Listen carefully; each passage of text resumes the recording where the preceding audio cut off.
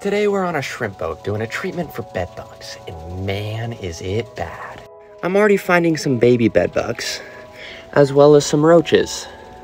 So the first thing that I did is I had the captain remove all fabric materials to be washed and dried. That way we can take care of any live bugs and eggs that are currently on them.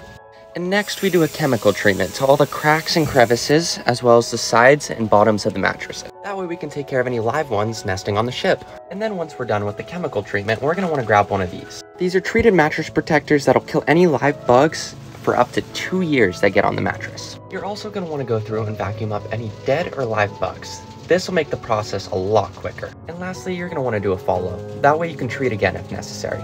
This is what it looks like to treat a shrimp boat for bed bugs.